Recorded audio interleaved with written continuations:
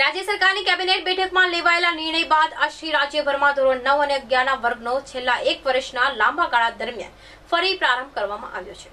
રાજ્ય અને કેન્દ્ર સરકારની ગાઈડલાઈનને અનુસરી શાળાઓમાં વિદ્યાર્થીઓને વર્ગખંડમાં પ્રવેશ આપવામાં આવ્યો છે.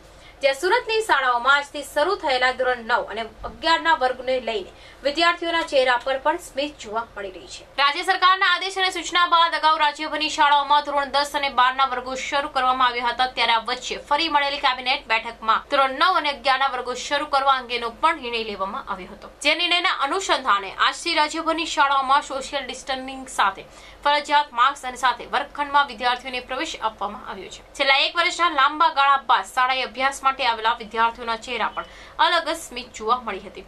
ઘરે બેઠા કંટાળેલા વિદ્યાર્થીઓએ શાળાએ આવી એક અલગ જ અનુભવ આજે કર્યો હતો. શાળા સંચાલકો દ્વારા પણ શાળામાં પ્રવેશ કરતા પહેલા તમામ વિદ્યાર્થીઓનું થર્મલ સ્કેનિંગ, હેન્ડ સેનિટાઈઝર કરાયા હતા. જોકે શાળાઓમાં વિદ્યાર્થીઓની સંખ્યા માત્ર પચાસ ટકા જેટલી જોવા મળી હતી. હું કુમારી દીપિકા શુક્લા, આચાર્ય પ્રેસિડેન્સી સ્કૂલ. આજરોજ ધોરણ નવ અને અગિયારના વર્ગોનો શુભારંભ થયો છે. ત્યારે ખરેખર ખૂબ આનંદ લાગે છે. કારણ કે લગભગ એક વર્ષ જેટલું આ પેન્ડેમિક સિચ્યુએશનને પાર કર્યા પછી વિદ્યાર્થીઓને મળવાનો અત્યંત ઉત્સાહ પણ હતો અને એજ્યુકેશન માટે સતત ચિંતિત પણ હતા. બાળકો સાથે ઓનલાઈન મળવાનું થતું હતું, પણ આજે જ્યારે બાળકો રૂબરૂ વર્ગમાં છે, ત્યારે એનો ખરેખર ખૂબ આનંદ છે અને એવું લાગ્યું કે હર્ષ હવે શિક્ષણની ચેનલ વ્યવસ્થિત શરૂ થઈ ગઈ છે.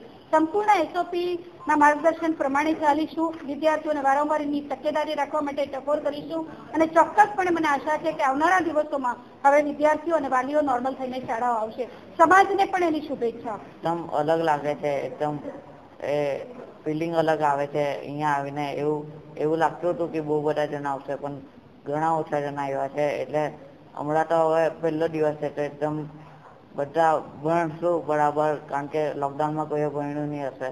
એટલે હમણાં બરાબર બધા ભણી લેશું. હવે ટેન પણ ચાલુ થવાનું છે. એટલે બધા પોતપોતાની રીતે તૈયારી કરવામાં એવું લાગતું હતું કે સ્કૂલ ચાલુ ક્યારે થશે. મમ્મી બોલતી હતી પેપરમાં આવી ગયું સ્કૂલ ચાલુ થશે. પણ કોઈ દિવસ થઈ જ નહીં. હવે હમણાં હમણાં છેલ્લા એવું કે સ્કૂલ ચાલુ થશે. તો હવે ચાલુ થઈ ગઈ આખિરકાર. તો હવે એવું લાગે કે બધા દોસ્તારોને મળાય, મળવા એટલે મળશું. પણ હવે મળાય પણ નહીં, હાથ પણ ના મળ્યા bureau report, Azad news Surat.